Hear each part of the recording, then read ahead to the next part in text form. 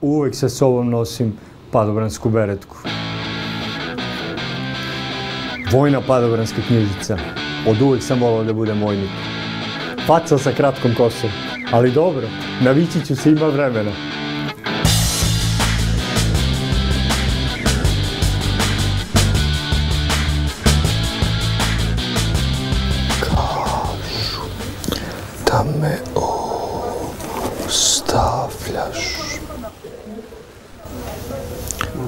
Kažu mi da si na drugom. I wish that I could fly into the sky so very high. Just like a dragonfly. Ah, zemaljska kugla u polukrugu. Ništa lepše nego ponovo biti u slobodnom padu.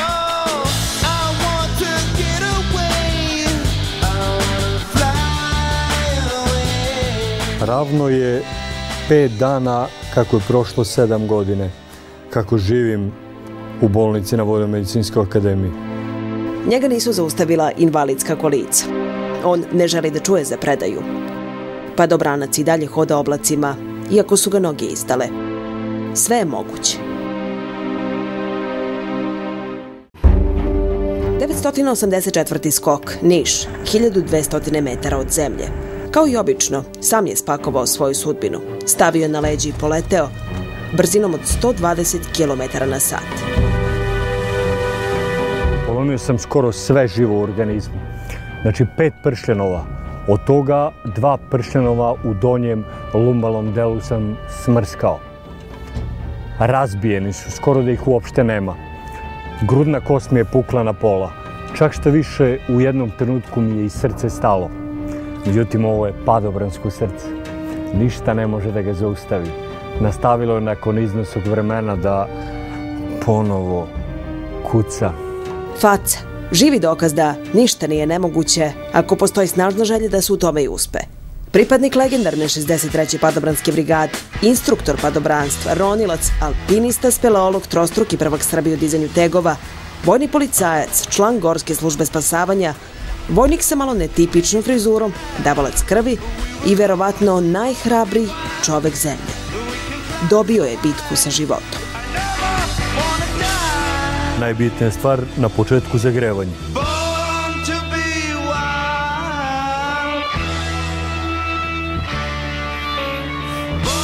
Vežbe sa tegovima, veoma bitna stvar.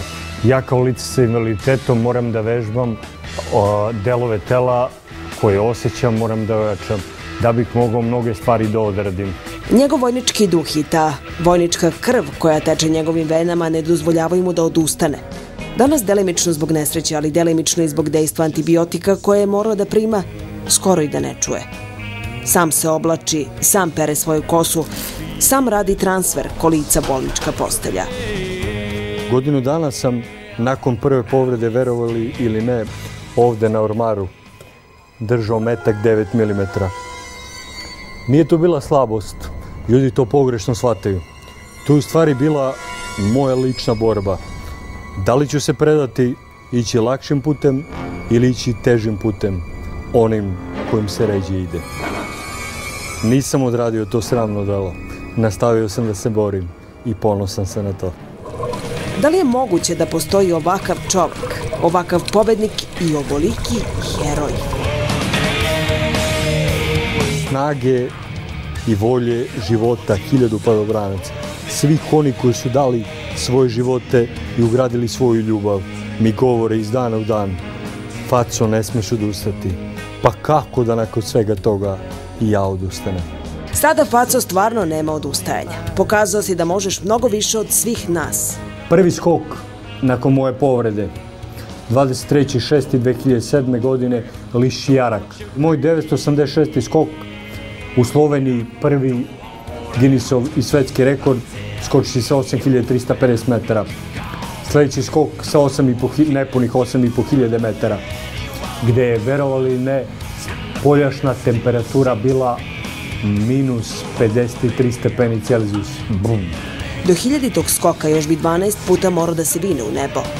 A do toga da stane na svoje noge potrebno je još pet puta da ode u Moskvu. Za svaki odlazak potrebno je 5500 eura, plus dve avionske karte, povratne za mene i pratioca.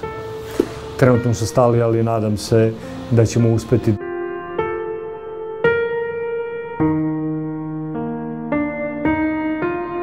On taj novac nema i zato jeste tu gde jeste.